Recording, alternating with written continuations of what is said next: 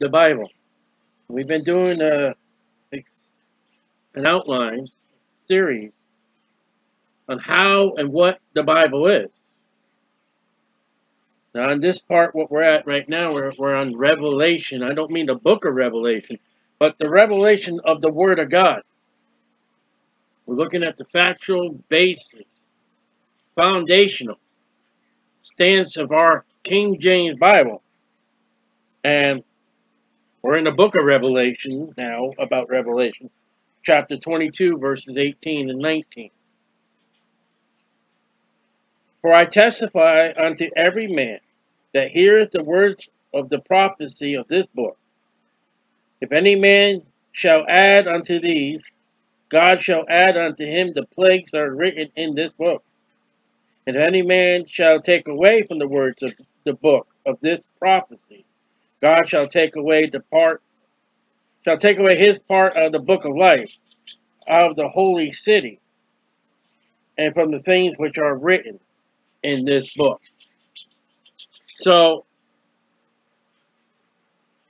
the actual book, that is the last of the days that we talked about in Hebrews last time. This is number five of the series. We talked about number four, in which God spoke to us. And he spoke to us through his son. What we talked about last time when we closed. To recognize whether it was him or not. In Revelation 22, 16, we find, I, Jesus, have sent my angel to testify unto you these things in the churches. I am the root and the offspring of David, and the bright and morning star. Uh, prophes Revelation 22, 18 to 21. For I testify unto every man that heareth the words of the prophecy of this book. If any man shall add unto these things, God shall add unto him the plagues that are written in this book. And if I, if any man shall take away from the words of the book of this prophecy, God shall take away his part out of the book of life, out of the holy city, and from the things which are written in this book. He which testify these things saith, Surely I come quickly. Amen. Even so come, Lord Jesus. The grace of, of our Lord Jesus Christ with you all. Amen. So John signifies to us.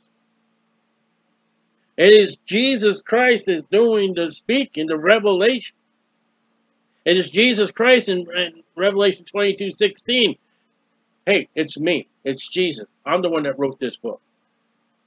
Again, we spoke the revelation of St. John Divine. That, that's wrong. Numerous individuals who are in other religions say, well, that one deals with the book of Revelation. You can't add to it or take away. It doesn't agree with the entire Bible. And I've got to say, oh, yes, it does. Hebrews 1, verse 1 and 2. God, who is sundry times and in divers manners spoke in times past unto the fathers by the prophets, has in these last days spoken unto us by his Son, whom he has appointed of all things, by whom also he made the world. Creation. Cre creation, creator, the author of the Word of God. And then back to Revelation 22, 18 to 19, which, we already read. It's of God. For I testify unto every man that heareth the words of the prophecy of this book, if any man shall add unto these things, God shall add unto him the plagues that are written in this book.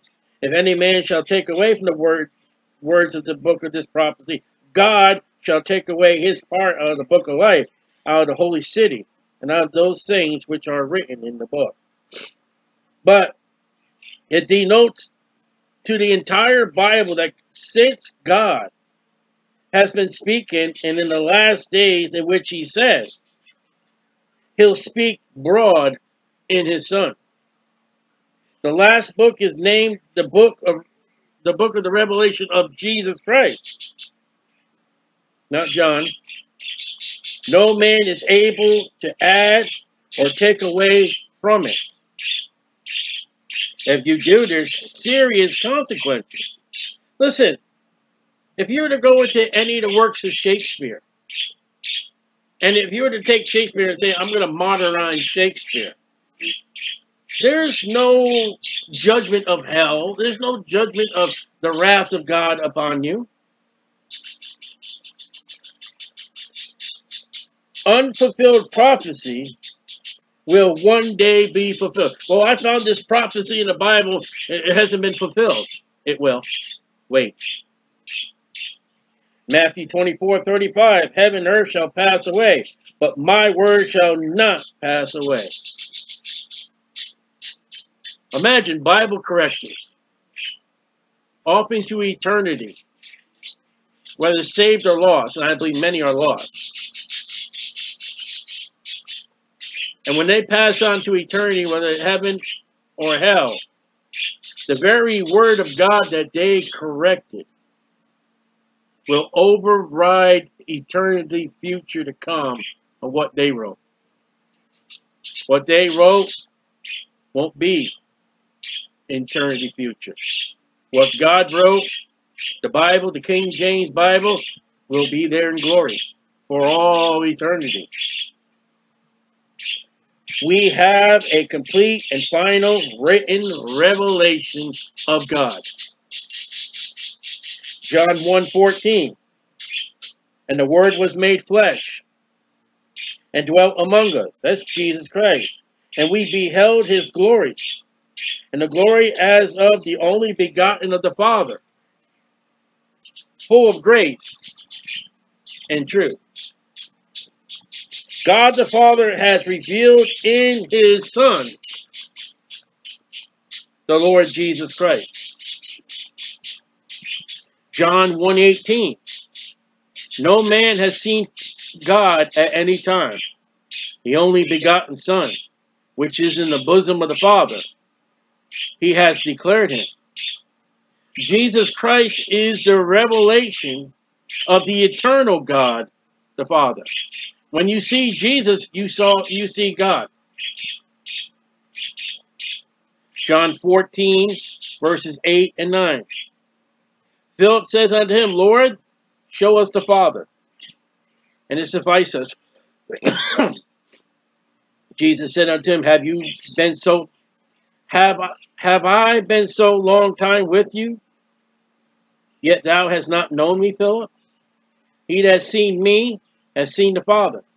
How sayest thou unto them, Show us the Father? 1 Timothy 3.16 And without controversy, great is the mystery of godliness. God was manifested in the flesh. Wipes out the Jehovah Witness doctrine justified in the spirit, seen of angels, preached unto the Gentiles, believed on in the world, received up to glory. Jesus is God, and God is Jesus, and when you see Jesus, you see God. First John 4, 2 and 3. Hereby we know the Spirit of God. Every spirit that confesses that Jesus Christ has come in the flesh is of God. It's not the Jehovah Witnesses. Every spirit that confesses not that Jesus Christ has come in the flesh is not of God.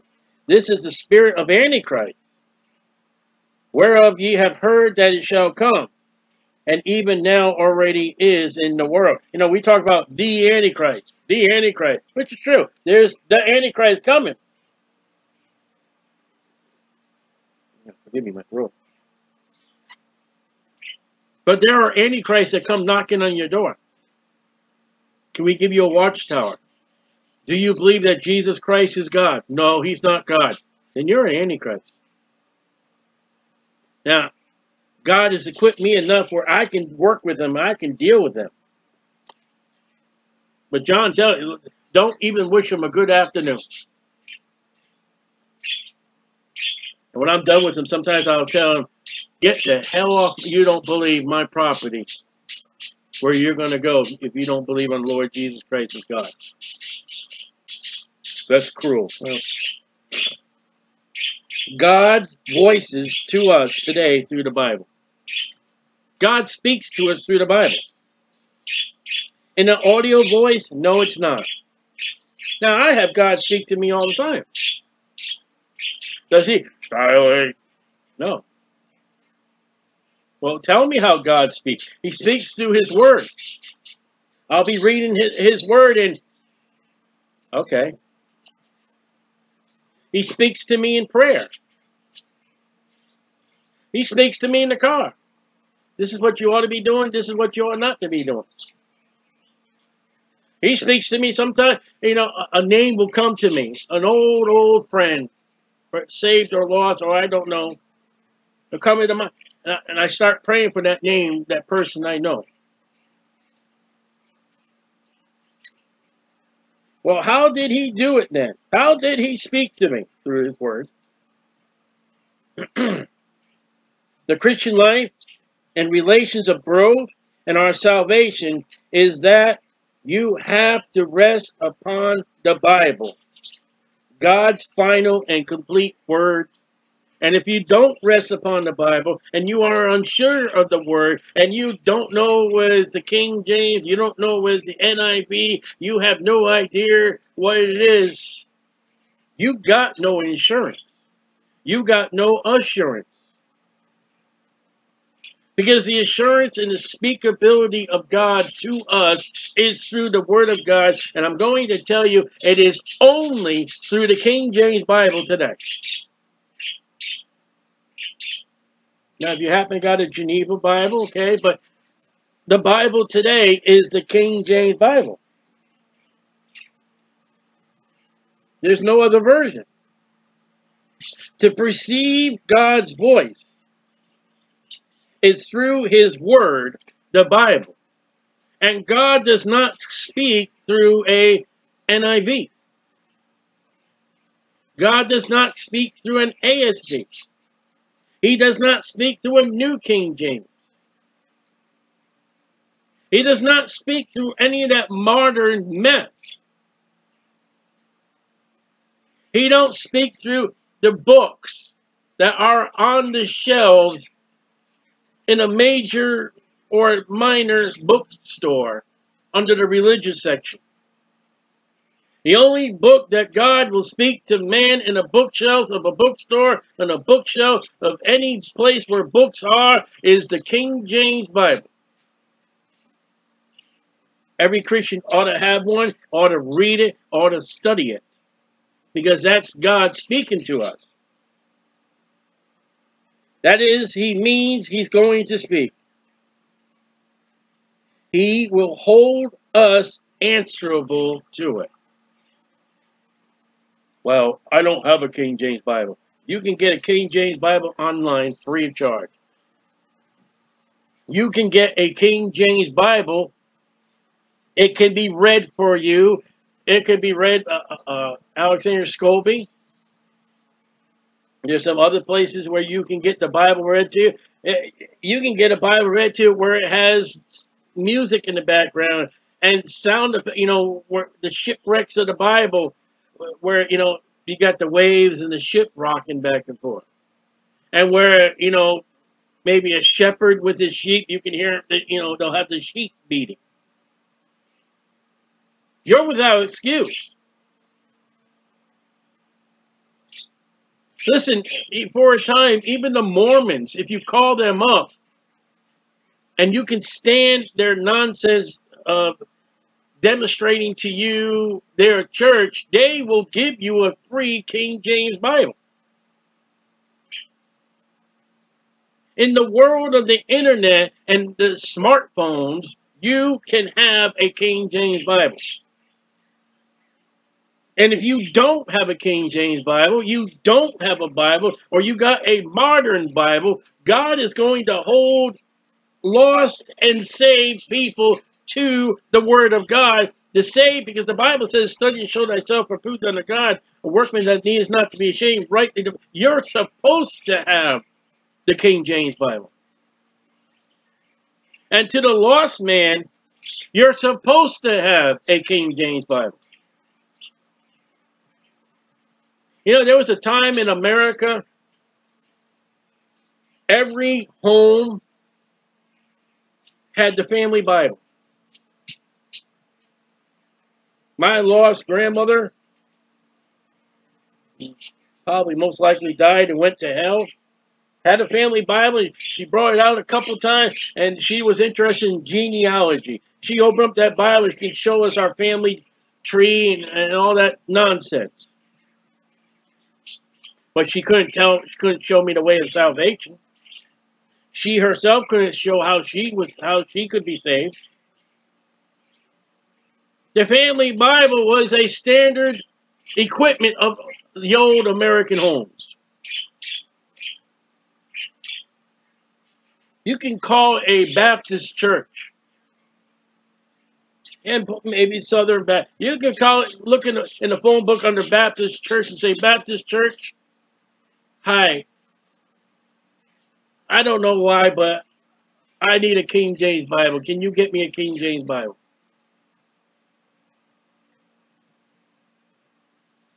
Although the Bible, all through the Bible, he holds you responsible for it.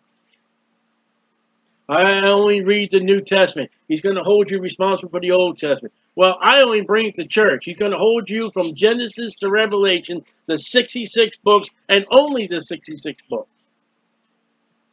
Well, I find Numbers and Chronicles very boring. You're going to be held for Numbers and Chronicles. I'm going to be held to Numbers chapter 7.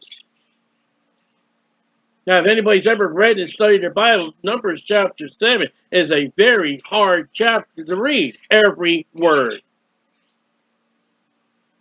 Every word of God is pure. I'm going to be held accountable for every word in Numbers chapter 7 with every chapter in the Bible, Genesis 1 to Revelation 22. You are supposed to attend to what he declares in this book. You are supposed to tell others what the Bible says. It is the wife to ask her husband, Paul says, if she's got any question. It is we Christians to go into the world and preach the gospel, the gospel that comes out of the Bible. Faith cometh by hearing, and hearing by the word of God.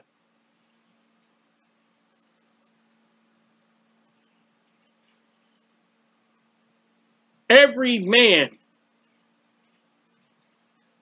more so from the Philadelphia church age to the present Laodicean church age, is going to be held accountable for the word of God. Listen, we've got something that even Jesus Christ walking and talking the 33 and a half years on this planet earth, Jesus Christ did not have what we have, a completed Bible, completed word of God.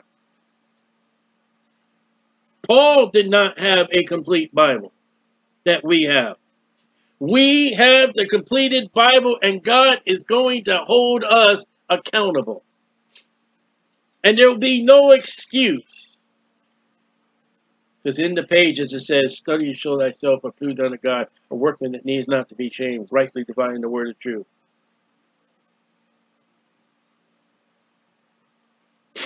Ah, my nose, excuse me. The complete Psalms 119, wholly 176 verses, is a testimony as to in what God speaks to us through the Word.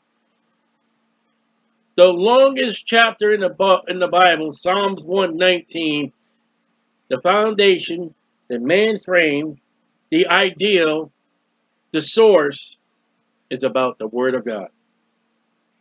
Imagine the longest chapter in the Bible is about the Word of God. Thy word have I hid in my heart that I might not sin against thee. If the gospel is to be preached,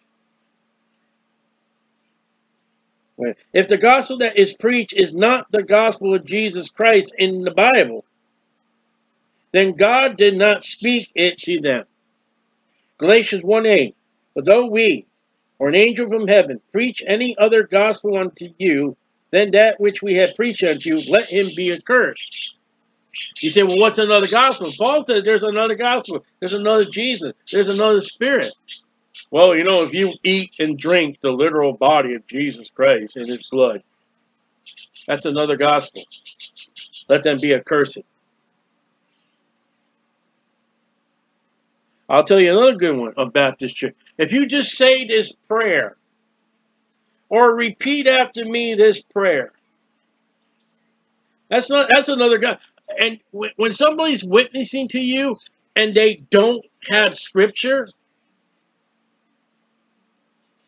now you don't need, I mean, you ought to have a Bible, but you can use King James Gospel tracts for scripture. Fellowship Tract League and Chick Tracts has scripture. If they did not bring you scripture, and you ended up praying a prayer to Jesus Christ, I'm going to question. Because the only way you're going to know salvation, the only way you're going to know of Jesus Christ is through the Word.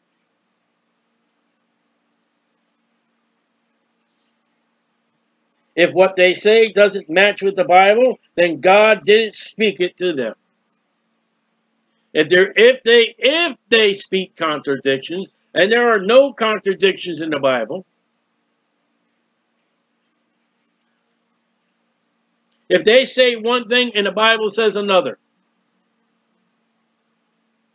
if if they're going to get rooms in heaven and Jesus said they're going to get a mansion, they are in the wrong and God is in the right.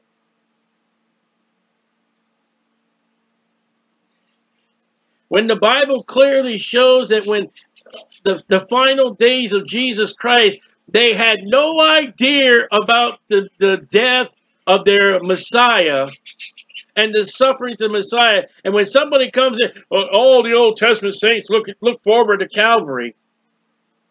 They are contradicting the word of God because if they look forward to Calvary, why weren't they waiting for the Messiah at Calvary and considered Jesus a loser who died on that cross?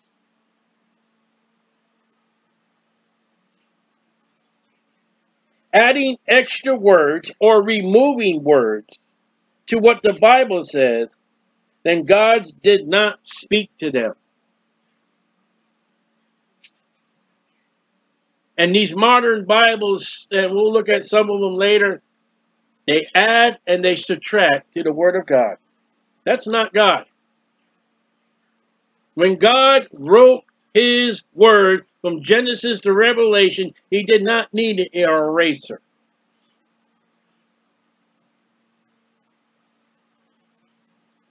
The prophet is the proclaimer of God's truth. It does not mean you have to come up with unique material. Jesus Christ is coming back on April 30th. April 30th. April 30th. Jesus Christ is coming back on February 15th. Jesus Christ is coming back October 21st. Jesus Christ is coming back December 7th. Jesus, no, no. Jesus said, as far as the date, no angels, not even himself. Only God the Father knows the date. How do you know the date that nobody knows the date?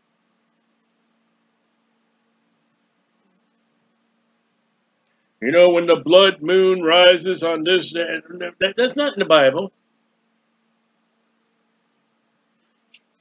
And there are times that people have wrongly divided the word of God. They're taking, oh, you know, Matthew 24 in the church age and the rapture. Matthew 24 is not about the church and it's not about the church rapture. There is no church in Matthew. The church didn't come to Acts chapter 2 when they got saved by the preaching of the death, burial, and resurrection of Jesus Christ by Peter.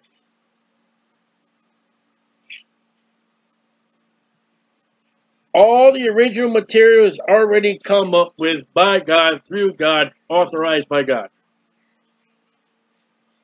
It's in the Bible and nowhere else. And the fact is that some guy comes up and he has a new revelation and he wants to sell a book and, and all other kind of nonsense. That's what it is. It's nonsense.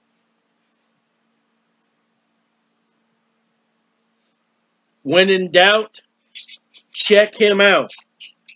Listen, let me tell you another thing right now. And let me tell you something. If your pastor gets upset at this, you need to find a new pastor.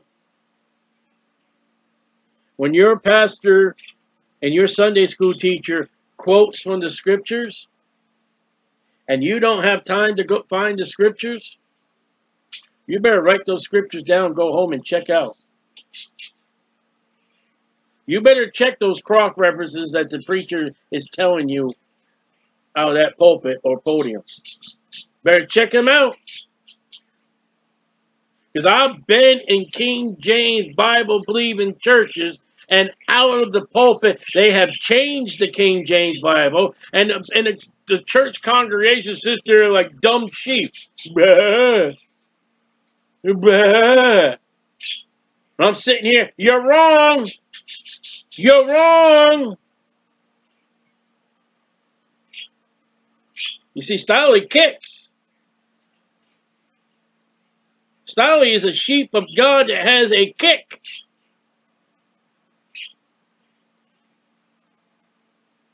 So we finished, conclusion, the revelation. Lord willing, next week we'll pick up the final authority of the Bible. And that will run us, that may be, that may be one or two weeks. But we're, we're going to start looking next week into some of the perverted Bibles and what the perverted Bibles say. So Lord willing, next week, the final authority.